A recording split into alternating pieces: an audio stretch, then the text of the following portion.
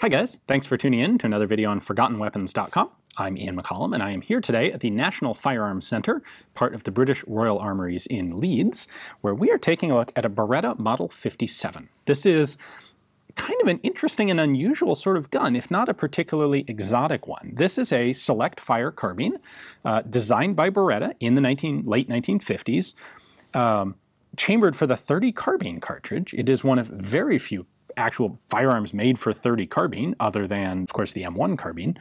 And these were actually made for the country of Morocco. They're the only people who ever actually bought them.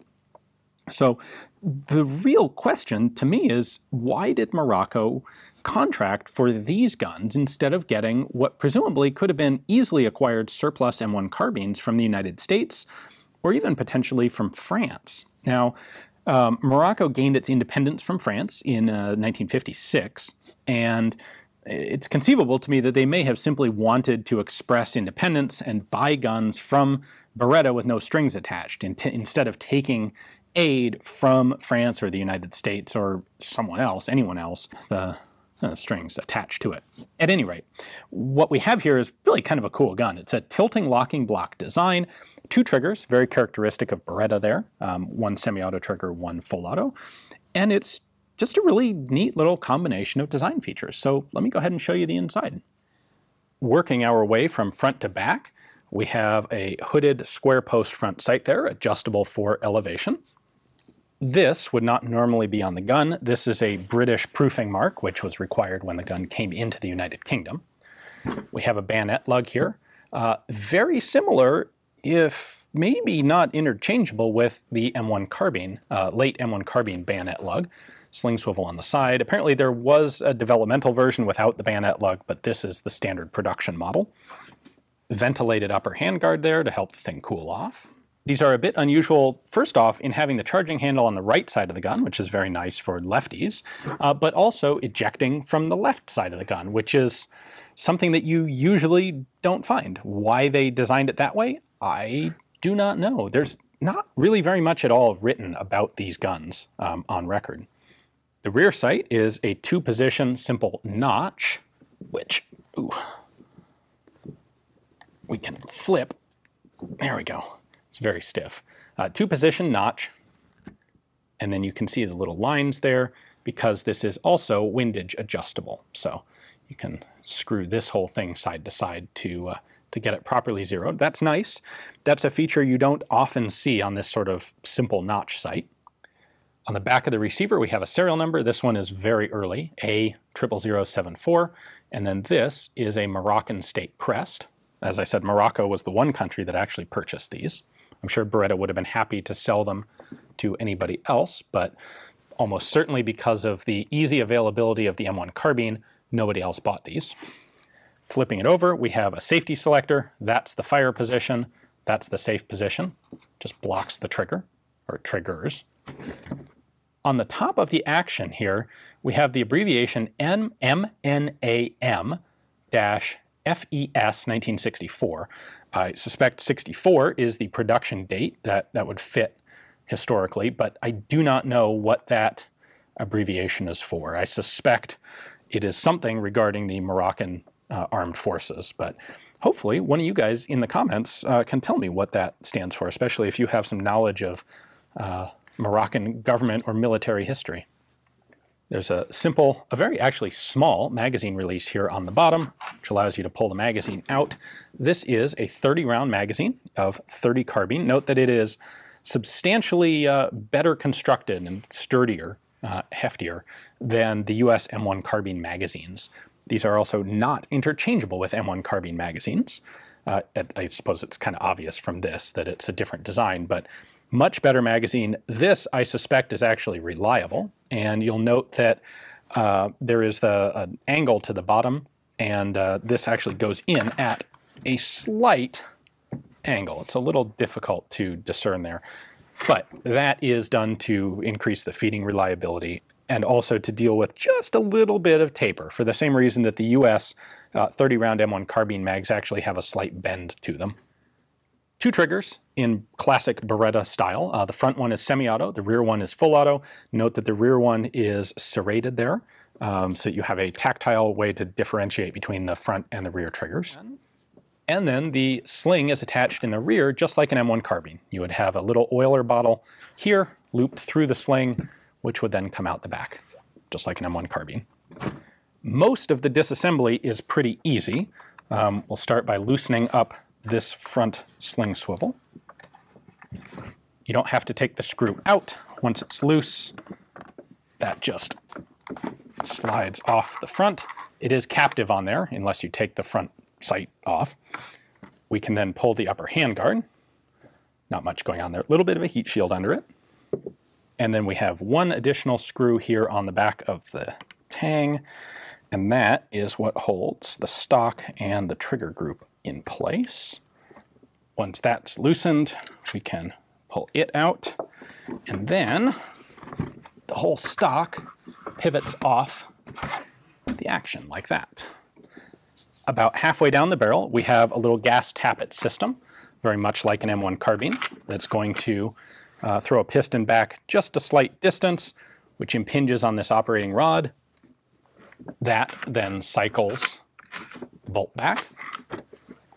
The recoil spring here is really the one real is is the one annoying piece to disassemble. So in order to get this out, we actually have to remove the whole trigger assembly. Um, the magazine well and trigger group are a separate component from the receiver. So there's one pin holding them together right up here. You can use this screw to just push that pin. That's going to come through this side. You can pull it all the way out, and it is actually held captive by a little uh, wire spring. Then the kind of tricky part is that this whole assembly lifts up out of the receiver, like that. And then the recoil spring immediately expands, and I'm actually rather surprised it didn't go flying across the room here. So we've got a guide rod and a recoil spring there. This guy is going to pivot down and slide backwards.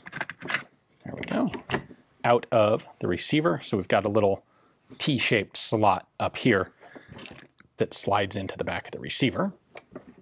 Once we have this out, we can then take the bolt carrier and bolt assembly out. And nothing, once you take this out, nothing holds the bolt onto the op rod and carrier.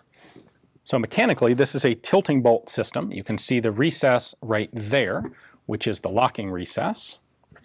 There is this lug on the back of the bolt, and that is pushed up into that locking recess to lock the action. That is done by the back end of the bolt carrier here. So you have a hook. This is actually fairly similar to the Sturmgewehr, the German Sturmgewehr. Uh, when this is going forward, uh, the spring is pulling on this guy. So it's going to go all the way forward, and then the this pair of angles right back here is going to push the back of the bolt up into its locking lug, like so, uh, as soon as the bolt's all the way forward and the locking recess is there for this to go into. Then, uh, when you fire, the gas piston is going to hit this op rod, push it backward, and at that point, the hook down here is going to catch the bolt, pull it down, and unlock it, and then cycle the whole thing. There's our bolt face. This is hammer fired, so it has a floating firing pin in there. Extractor, the ejector slot on the side. Really not much else to show you on this guy. It does fire from a closed bolt. So when we're ready to fire, pull the trigger, the front trigger, and hold it down. Hammer is going to drop. That will fire the gun. When the bolt comes backward, it's going to recock the hammer, and it's also going to trip the semi-auto disconnector, which re-engages this, and can't fire a second time until you pull the trigger again.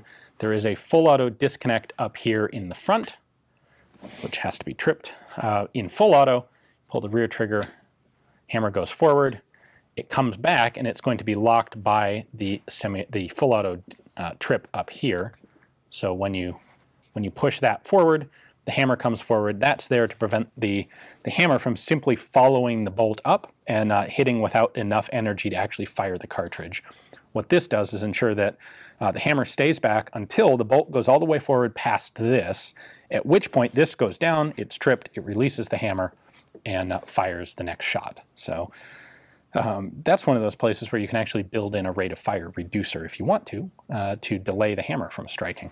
Anyway, one other feature up here is this guy, which is the magazine hold open. So this will lock open with an empty magazine. You can see a tab right here at the back of the magazine. That is going to push this assembly up like that. If the magazine's not empty, there are cartridges in there and that tab doesn't engage. Or possibly my glove gets stuck in the magazine. So that's pretty much all the, or in the mag release. That's pretty much all the working features in here. The receiver is a quite simple forged, I assume, and milled assembly. Uh, yeah, not much to it. Your extractor or ejector right there, locking recess, and that's pretty much it. These are a quite handy gun to carry, a little bit long perhaps, but fairly light. They come in at six and a half pounds or 2.9 kilos. Allegedly, they have a rate of fire in full auto of 500 rounds per minute. To be honest, I'm kind of dubious about that. I would expect it to be higher. Um, I always take published rates of fire with a bit of a grain of salt because even in original manufacturer documentation, they often will uh, will will adjust those numbers up or down as they think clients would prefer. So, and of course, that sort of thing always varies with type of ammunition um, and and other factors as well. So, allegedly 500 rounds a minute. Whether that's entirely true, I don't know or not. But it's a really neat little gun. Not very many of them made, only the one contract for Morocco. So very cool of the Royal Armories to let us take a look at this one and pull it apart. Also a big thanks to my Patreon supporters. It's you guys at a buck a month or more, if you like some of the perks, uh, who make it possible for me to travel to places like the Royal Armories in the UK and take a look at guns like this one. Thanks for watching.